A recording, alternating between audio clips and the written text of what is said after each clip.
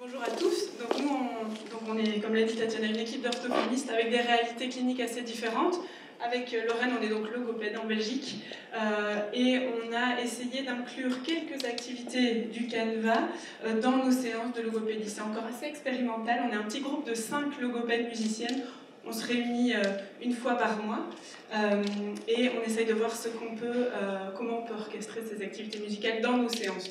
Donc on voit la musique, encore à l'heure actuelle, comme on va dire un potentialisateur, vraiment un adjuvant de nos séances de logopédie. Notre propos c'est sur l'utilisation du canevas d'activités musicales en orthophonie. Alors, d'abord un petit chapeau théorique. Mais finalement, pourquoi de la musique en séance d'orthophonie? Alors on part d'un constat. Ce constat, c'est que beaucoup de patients ont des difficultés qu'on appelle des difficultés perceptives. Le mot perception, ça recouvre des réalités assez, assez variées, assez larges. Difficulté à percevoir les phonèmes, à percevoir les graphèmes complexes, à percevoir les rimes, le rythme de la langue, l'intention d'un message, à percevoir le sens ou encore l'objectif d'une séance. Donc finalement, si on cherche à, en donner une définition, on voit qu'il y a deux volets. Un volet qui a plus trait à la psychologie euh, cognitive et un, un, volet qui a plus trait à la philosophie. Percevoir, c'est évidemment d'abord un processus assez inconscient. C'est le recueil et le traitement de l'information sensorielle. Aujourd'hui, en psychologie cognitive, on pense que la perception, c'est pas du tout quelque chose de passif. On parle d'une construction dynamique. Pourquoi? Parce qu'on est dans un flux incessant sensoriel, que le cerveau online traite toutes ces informations sensorielles, mais qu'il les traite, il les encode, il les intègre, et en plus, ceci est mis en résonance avec toute l'expérience sensorielle euh, de la personne. Hein. Percevoir quand on est un bébé qui vient de naître ou comme un adulte, c'est pas la même chose. Et ça se met aussi en, en résonance avec euh, l'environnement, le bain dans lequel euh, évolue la personne. Donc ça, c'est euh, un côté inconscient. Un niveau plus conscient, ce serait la prise de conscience qui résulte euh, de cette perception. Et euh, notre présupposé, c'est celui-ci. Et si la musique favorisait la perception au sens large? Alors juste une dia pour parler un petit peu de théorie. Aujourd'hui, on est dans un courant en psychologie cognitive qu'on appelle le connexionnisme. C'est l'idée que la cognition, c'est quelque chose, encore une fois, de dynamique, pas de passif. Donc c'est pas une programmation comme on a souvent entendu euh, dire il y a quelques années, mais c'est l'idée qu'il y a un entraînement, le mot est déterminant, un entraînement de réseaux de neurones qui interagissent avec l'environnement. Alors, une, une théorie qui, qui, est assez euh, usitée actuellement, c'est la théorie des modèles prédictifs de Friston. C'est une théorie actuelle, c'est un neuroscientifique actuel. Qu'est-ce qu'il nous dit? Il, il voit le cerveau en fait comme une machine à faire des prédictions. Donc, ce cerveau est dans un environnement. Il est bombardé de stimuli. Il va euh, recevoir, traiter ces stimuli et il va essayer évidemment d'en extraire des régularités. Sur base de ces régularités, il va créer un modèle. Ce modèle va s'ajuster au fur et à mesure par rapport au, bah, il va être infirmé ou confirmé, renforcé en fonction euh, euh, de ce qu'il va percevoir. Le fait de faire ce modèle et d'ajuster ce modèle en permanence par rapport aux stimulations extérieures va permettre au sujet, euh, au locuteur, d'anticiper, et là on est complètement dans la lignée de ce qu'on a entendu ce matin avec Daniel Schoen, c'est vraiment ça va lui permettre d'anticiper et de toujours mieux anticiper. Euh, une autre théorie euh, relativement récente qui, est complètement en connexion par rapport à ce qu'on va vous présenter après, c'est la, donc la théorie of attentional dynamics de Large et Jones. Euh, leur idée, c'est de dire qu'avec l'expérience et l'évolution des capacités d'anticipation dont on vient de parler, on va passer d'un mode d'attention soutenu à un mode d'attention sélectif. Au début, le bébé, il est obligé de faire attention à tout. Ça demande une énergie folle. Les bébés sont vite fatigués. Et puis, petit à petit, on va euh, être capable donc de, euh, de, savoir où il y a de, la régularité et ça va euh, soulager en fait notre système perceptif. Oui, je sais comment ça va se dérouler juste après.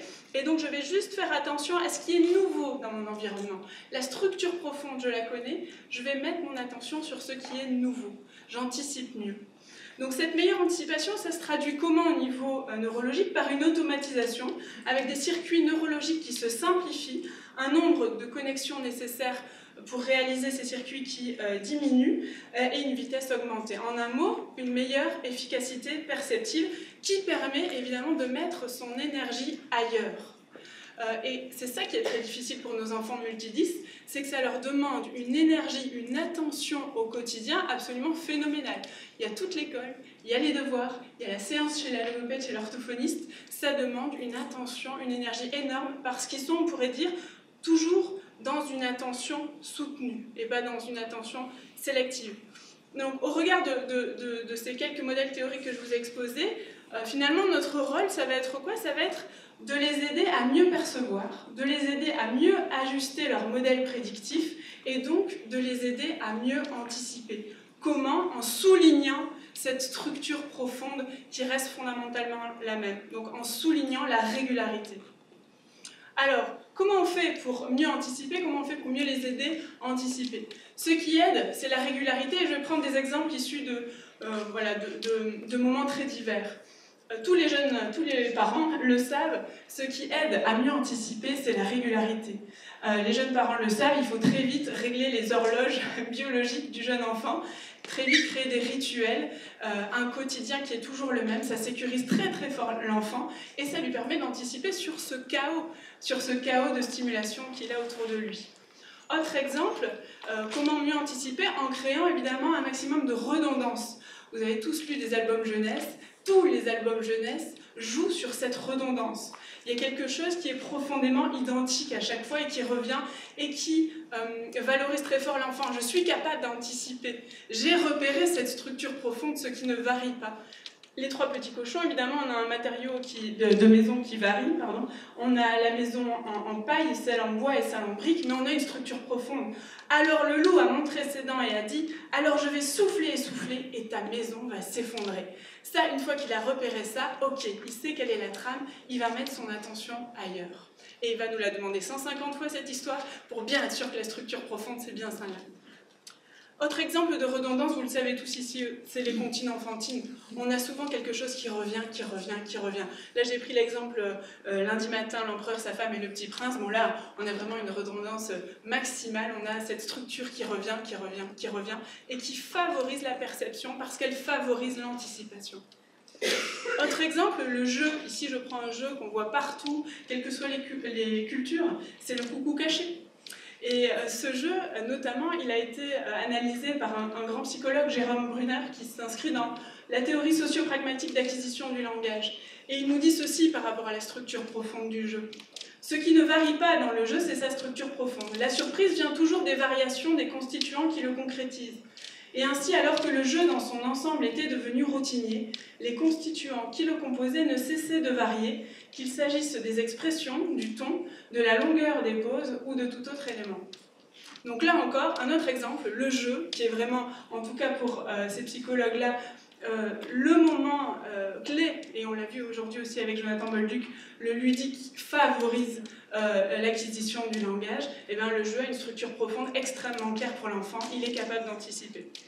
Alors on se rapproche tout doucement de ce qui nous intéresse au niveau logopédique en parlant un peu plus de la langue euh, au sens de signal acoustique. Dans le signal acoustique, ben, le signal acoustique, c'est quelque chose de tout à fait continu.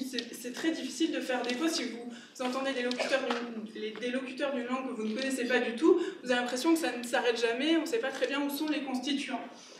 Euh, l'enfant, il est dans ce flux de parole au départ. Et très très vite, hein, grâce à ce modèle prédictif, euh, il va euh, trouver des régularités dans la langue. Une des régularités, c'est la syllabe. C'est vraiment une unité fondamentale en français notamment. Donc, ok, toutes les 250 millisecondes en moyenne, j'ai une syllabe. Ok. Et puis, on va, les, capacités perceptives s'affinent. Il va aussi détecter que toutes les 25 millisecondes en moyenne, il y a quelque chose qui revient cycliquement. La fameuse régularité qui permet de mieux anticiper, c'est le phonème.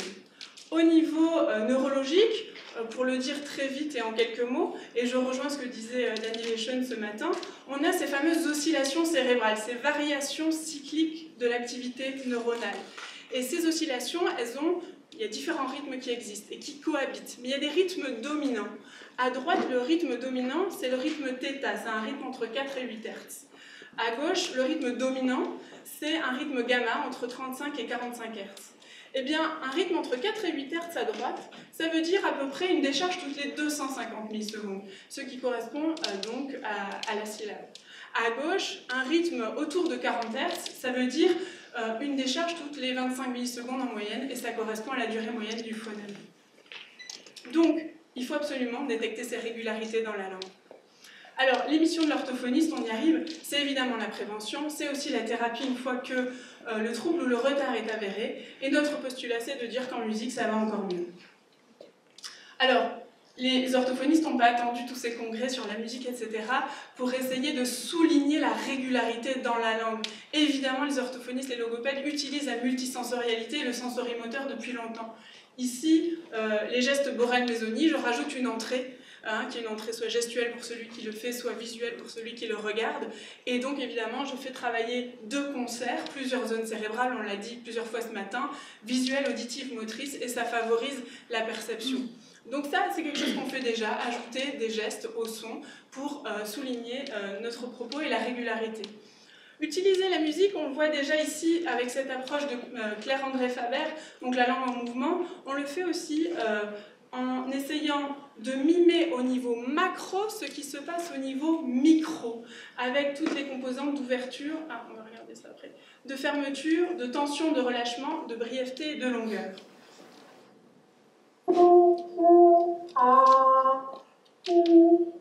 Moi, c'est à moi. Voilà, quelques images pour vous montrer qu'effectivement, donc elle mime au niveau macro le A qui est extrêmement détendu, relâché, va être réalisé avec un mouvement euh, très ample du corps. Le OU qui est beaucoup plus fermé, arrondi, va être réalisé par un mouvement euh, qui, est, beaucoup plus euh, en retenue et vers l'intérieur. Donc là déjà, on voit l'utilisation de la musique en orthophonie. Mais un point qui fait souvent défaut dans les séances d'orthophonie, c'est la pulsation. On ne travaille pas beaucoup ça dans les séances de logopédie, d'orthophonie, et la pulsation, c'est pourtant quelque chose de déterminant. C'est quoi la pulsation? C'est, dans le domaine du rythme musical, l'accent, intervenant de manière cyclique au début de chaque temps. La régularité de la pulsation garantit donc l'égalité des temps et par conséquent un certain tempo.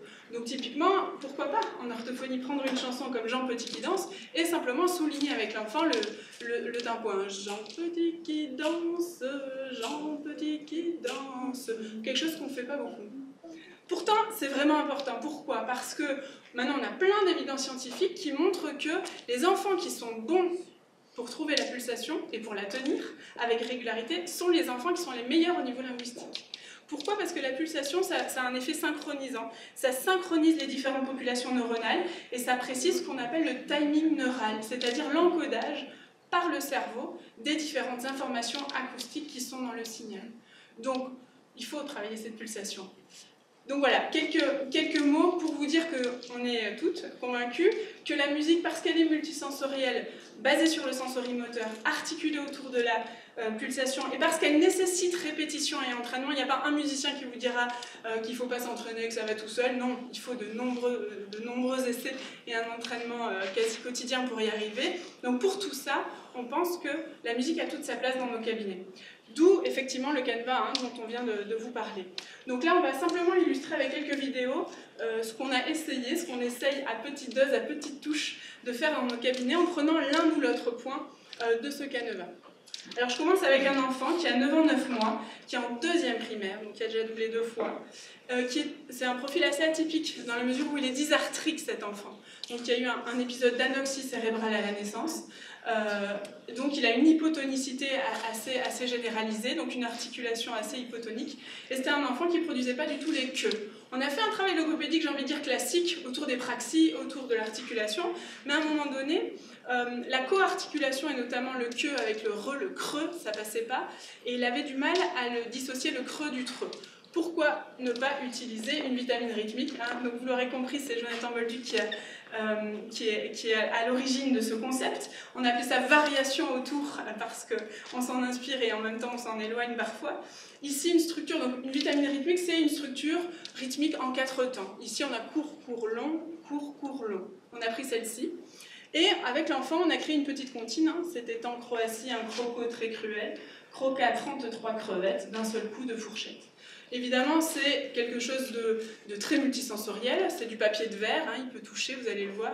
C'est visuel, il y a de la couleur. Et puis évidemment, il y a une notion de durée, il y a du court et il y a du long. Voilà ce que ça peut éventuellement donner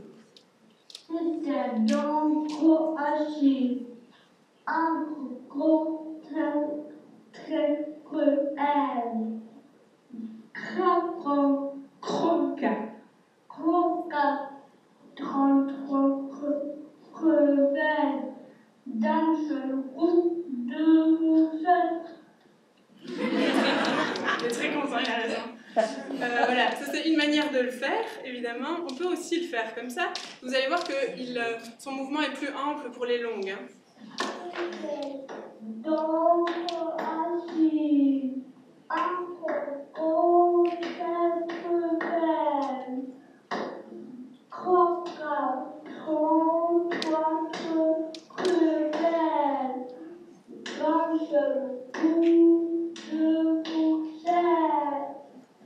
Voilà. Et une autre façon de le faire, c'est toujours, il faut diversifier euh, tous ces moyens. C'était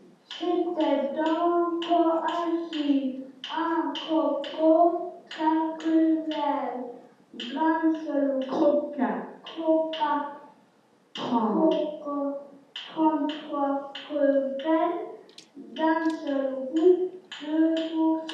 Et on a même une belle modulation à la fin.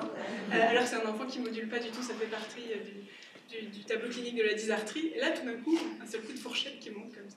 Voilà. Un autre exemple, une autre illustration d'un d'un des points du canevas.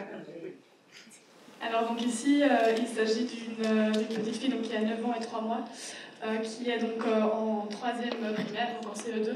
Elle a des difficultés, elle, au niveau euh, de la mobilité labiale. Donc elle a l'atelier de la projection des lèvres euh, vers l'avant qui est difficile. Euh, il y a une altération déconstructive, orale, euh, prédorso-prépalatale et apicodentale, donc c'est le che, je, ce, ze qui pose problème.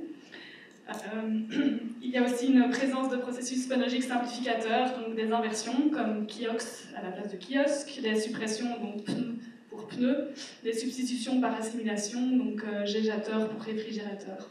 Alors le lexique en expression est restreint et imprécis, et les difficultés de, en morphosyntaxe sont aussi présentes en expression. Alors ici, c'est un autre exemple de, variation autour d'une vitamine rythmique.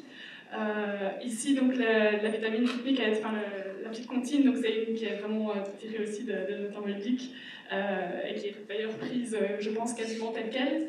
La variation qui a été faite ici, c'est qu'il y a eu d'autres, comme ici son travail, c'était vraiment au niveau du, phonème che ici qu'on travaillait. Euh, c'est qu'il y a eu une variation au niveau du, lexique, puisqu'on a choisi euh, tout toute une série d'autres mots euh, qui contiennent le son ch. Donc ici, moi je n'ai fait qu'une seule petite vidéo, donc il n'y aura plusieurs manières de le, faire, mais bien sûr il y a plusieurs façons de, le faire aussi. Ici la consigne c'était donc que je ne me trompe pas, de dire les mots qui sont sous forme d'image, et par contre de frapper le rythme de parole sur tout le texte. Chat, chat,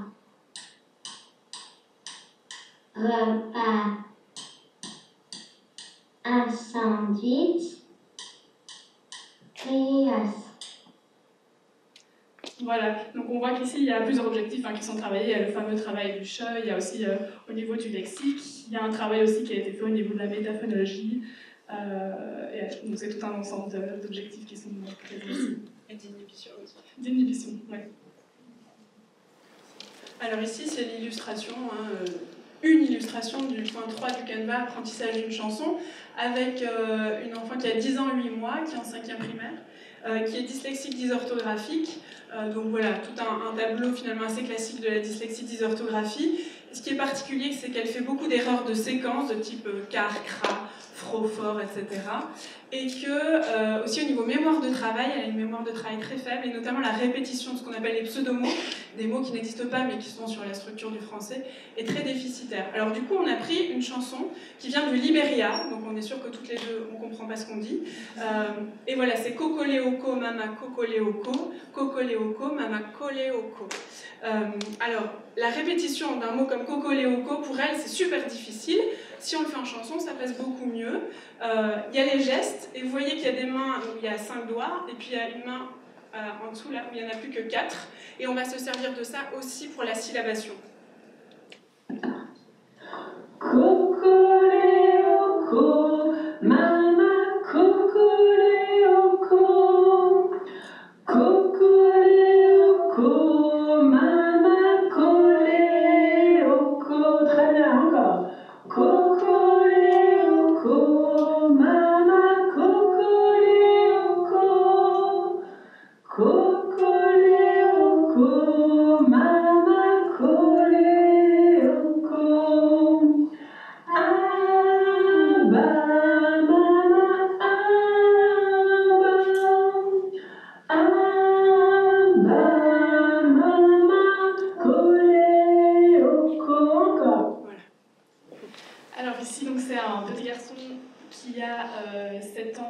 Et 8 mois, ou qui est en deuxième primaire. Alors ici, c'est un retard au niveau de l'acquisition du langage écrit, à savoir que donc, quand il est arrivé chez moi, il y avait vraiment un manque de confiance en lui assez important. Il commençait à être pas mal dégoûté par l'école. Euh, donc il y avait vraiment des grosses, grosses difficultés dans l'entrée vraiment au niveau des apprentissages. Euh, à savoir aussi qu'au euh, niveau de tout ce qui est les fonctions exécutives, sont assez déficitaires chez lui aussi. Euh, donc au niveau euh, attentionnel, au niveau aussi euh, de l'impulsivité, c'est assez difficile. Et puis alors, ben, ça se représente évidemment au niveau de la lecture et de l'écriture qui sont déficitaires. Donc il y a 20 graphèmes qui sont, qui sont connus en lecture, il y a des confusions et visuelles et auditives, il y a pas mal d'inversions, d'ajouts, d'omissions de graphèmes. et donc ici, ce qui a été proposé, c'est une activité en fait de discrimination auditive. Euh, donc ici c'est au niveau du timbre, ça va être plusieurs instruments de musique qui lui sont euh, présentés et il va devoir essayer donc euh, de repérer la séquence des différents instruments.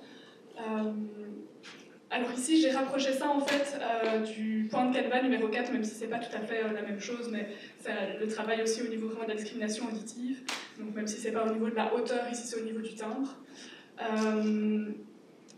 et donc la consigne ici qui va être proposée, c'est vraiment de suivre cette séquence. Et en fait, euh, à savoir que pour lui, c'était vraiment très très difficile au départ. Même une séquence de deux était difficile. Et ici, en fait, avant justement la séquence vidéo vous allez voir, il m'a demandé si c'était possible d'essayer de faire jusqu'à 6. Donc euh, vous allez voir ce que ça va donner.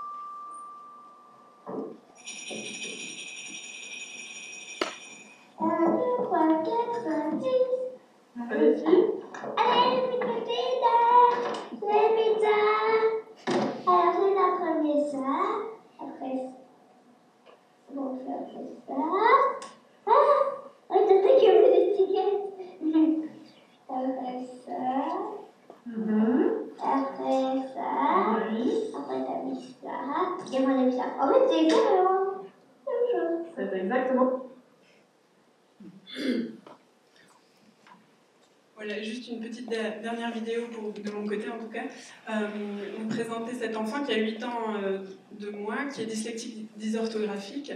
Euh, et alors en fait j'avais envie de prendre cet exemple parce que c'est un enfant, donc il est en deuxième primaire, c'est difficile d'apprendre à lire et d'apprendre à écrire, et euh, quand on fait nos objectifs en logopédie, il a vraiment envie, il a vraiment envie, mais, tout ça lui prend tellement d'attention, le fatigue tellement qu'il fuit souvent devant l'apprentissage. C'est souvent le cas de nos enfants multidis. Et donc tout de suite, il somatise, il, a, mal à la tête, il a mal au ventre, il est trop fatigué. C'est très difficile pour lui de faire une activité.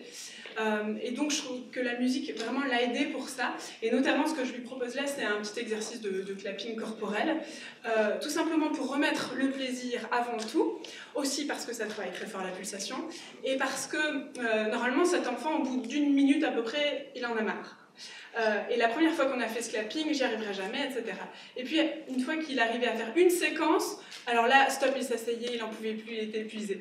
Et puis un jour, je dis, allez, on continue, on continue. Et maintenant, vous allez voir, il en enchaîne. Il est très fier d'arriver à les enchaîner. Et quelque part, il a euh, fait l'expérience concrète et corporelle qu'il est capable de mener un travail de plus longue haleine.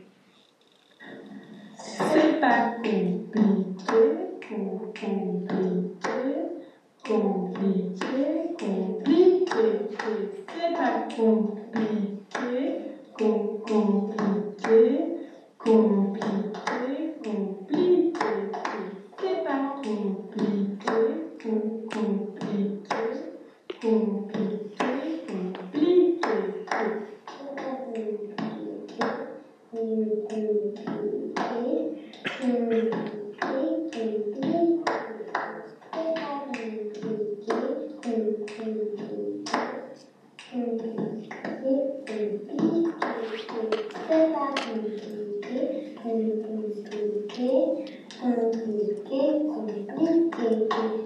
Voilà, on l'arrêterait plus en fait. Euh, C'est un peu le problème inverse, mais bon, ça va.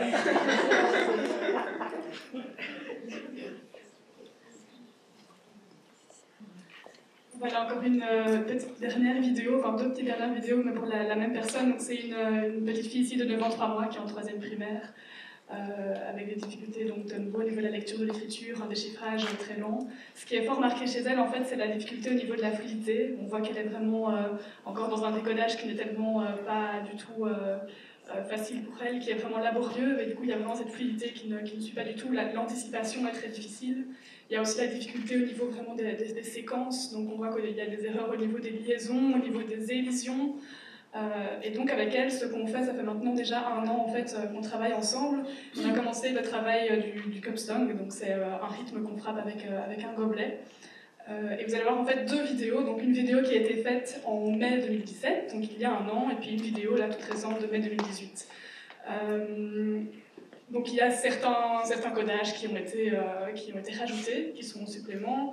Euh, il y a, au niveau, vous allez voir, au niveau de sa, euh, de sa, de sa, de, sa façon d'être, on va voir qu'elle est vraiment plus présente dans la musique, il y a vraiment tout son corps qui va participer, vous pourrez le voir avec la, vidéo, il y a cette, cette anticipation aussi qui est vraiment présente, elle va vraiment essayer de savoir qu'est-ce qui va être la suite, on voit qu'elle est, euh, est vraiment en train de déchiffrer la, bande qui est devant elle, mais en ayant vraiment déjà l'idée de ce qu'elle va faire après, enfin, vous verrez ça sous forme de vidéo, on en, on en reparle juste après.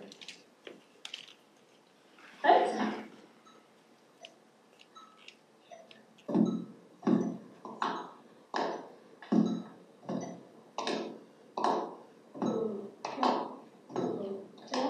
Un, deux, trois, quatre.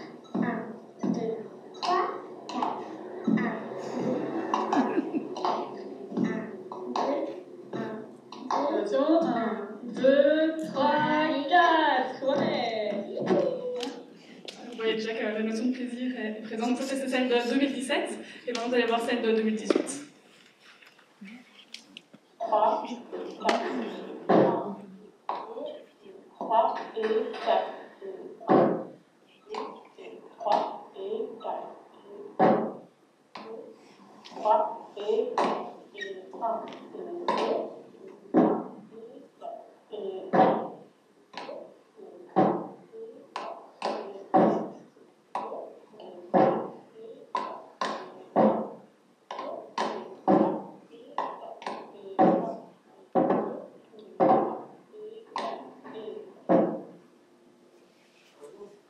Voilà. Euh, bah, du maintenant, on va passer euh, la parole à, Marie-Aude, qui va vous expliquer un petit peu euh, donc,